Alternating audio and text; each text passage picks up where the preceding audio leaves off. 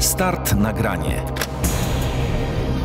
E, Dzień dobry, nazywam się Sawicka. Przyjechałam wraz z moimi wspaniałymi kolegami muzykami z Bielska Białej. Przyjechaliśmy do Państwa z piosenką pod tytułem Grubo. Piosenka opowiada o iluzji, której czasami ulegamy. U nas y, iluzja jest uosobiona pewną postacią chudej Rity, która pojawia się i znika w niewyjaśnionych okolicznościach. Skąd inspiracje? Właściwie inspirujemy siebie nawzajem, tak można powiedzieć. Ja piszę teksty. Y, Artur do, tej, do tego utworu napisał muzykę. Ja myślę, że w ogóle się próbujemy e, trochę bawić formą, tworzyć piosenki, które posiadają tekst i ubierać się w formę muzyczną, która czasami jest e, formą takiej woltyżerki, można powiedzieć, a- artystycznej. My dopiero jesteśmy na początku naszej drogi. Myślę, że ciężko nas w związku z tym sklasyfikować, bo to się wydarza jakoś e, samo, więc nie chciałabym tego nazywać w żaden sposób. Każda z tych piosenek jest totalnie z innej bajki.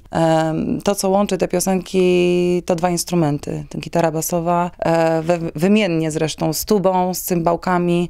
E, Jest nas trójka i używamy różnych środków do tego, żeby te piosenki ubierać w dźwięki. Muzyka jest bardzo ważna w moim życiu. Myślę, że to jest najbardziej doskonała forma sztuki, jaką człowiek jest w stanie operować i tworzyć. Dlatego jest y, czymś naprawdę ważnym i ważnym jak każde piękno, które staramy się do swojego życia wkładać po kawałeczku, czasami w większych porcjach.